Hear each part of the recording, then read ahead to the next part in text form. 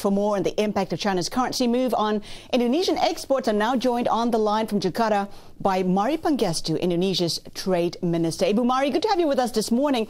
Now, Thailand and the Philippines welcome greater yuan flexibility, while Korea says its economy may be hurt. What's Indonesia's stand on this? Uh, we we welcome uh, positively uh, this move by China to uh, make the exchange rate more flexible. Uh, I think it, has been a lot. Uh, uh, many countries have been uh, waiting for this uh, move, and because it will mean uh, increasing purchasing power in the in the Chinese consumer market, which will help our exports, and it will also rebalance. I think the the imbalances that that exist now. so we, we do think that this will overall for Indonesia, as well as many other countries in the region, uh, rebalance uh, the uh, trade picture so that we can hopefully improve our export performance. Uh, can you quantify the impact, given that you've just said that it will improve the competitiveness of Indonesia's exports to China?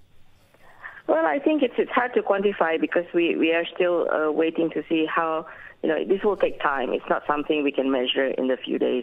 Uh, the the yuan will go up and down uh, because it is now floating within a band. But if you reflect before 2008, uh, they actually, I think, uh, appreciated five or six percent, but over a period of time. So the adjustment will take time. But I think what's important is uh, it's it's sort of not just the actual amount, but the fact that uh, investors, buyers uh, look at it as this is the the adjustments that will come uh, uh, for China uh, in the medium term. It's both the exchange rate as well as other, other things that are happening uh, in China, including uh, increased wages uh, and the restructuring of, of the structure of their production. and this will as you as you know, uh, there has been some relocation to Vietnam and Indonesia, so there's a, a sort of a restructuring uh, going on. Uh, and you know, uh, one more thing I would say is that between uh, the beginning of 2009 to now, the rupiah appreciated around 17 percent, and and this will mean that once there is appreciation by the yuan, then there's more of a of a rebalancing. Apart from what you said, do you see greater intra-ASEAN trade as a result of a stronger yuan? What's the sense you're getting from your counterparts in the region? Well, I think uh, I think the, uh, the the actual again once again it's not so much the quantitative amount uh, uh of the whatever appreciation is going to happen. It's it's more uh, the the positive perception that, that there will be more of a rebalancing uh, going on. I think intra ASEAN as well as intra East Asia. trade will continue to increase just as it has increased in the last five years, because just because of the growth uh, in the region. Uh, it's no longer about a production network where we're uh, sort of sharing in, uh, our resources and components and then exporting out uh, to the U.S., to Europe. There's more uh, intra-East Asia trade going on for our, each other's markets. and I think the yuan appreciation helps helps in that respect also. And we, we, we know that China is going in the direction of uh, reducing uh, source of growth from exports uh, to domestic consumption, uh, and appreciation of the yuan helps that. So uh, I think uh, overall we we would. expect to have increased intra-East Asia trade as well as intra-ASEAN trade. Uh, I want to get your views on what's happened uh, in Australia with the recognition of uh, Kevin Rudd as Prime Minister. What do you think that will mean for the fight and the campaign for a global climate change?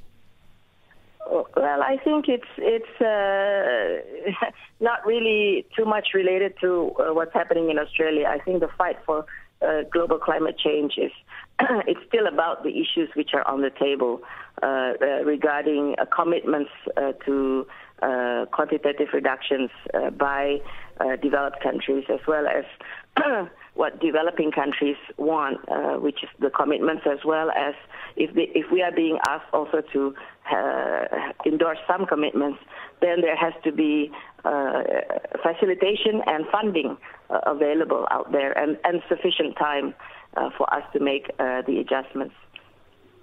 Do you think there's a lesson to be learned from uh, Kevin Rudd's experience, given that uh, Indonesia is rich in minerals? Uh, it could face a similar situation. I think it's more how you undertake such a policy. Uh, we, we must make sure that uh, we, we, believe that, and we have been uh, trying to implement this uh, on the ground. How do you uh, have a strategy which is pro-green, pro-growth, and pro-poor? Uh, that's basically in summary. So, for instance, as you know, we have announced a policy of moratorium on plantation, new plantation licenses uh, on, in peatland uh, and, and, and primary forest area. Uh, so at the same time, uh, we recognize that we, we must also have growth. So which type of land would you put your plantation? Uh, it's in the degraded land, right? And at the same time, we do reforestation. Uh, so I think I think it's possible to do it if you mm-hmm. have this frame of mind, uh, and uh, you must have a lot of discussion with your stakeholders to make sure uh, that right. everybody's on board. Palm oil, Ibu, since we're on the uh, topic of commodities, prices have been falling. What's your take on that? Are prices well supported at this point in time? I think uh, it, it's it, commodity prices will continue to go up and down, uh, but I think in general it will still be relatively stable for the next uh, one or two years, uh, riding on the strong demand that still continues to come from uh, China and India. Uh, but we will hopefully not see the, the sharp rise that we experienced in 2008.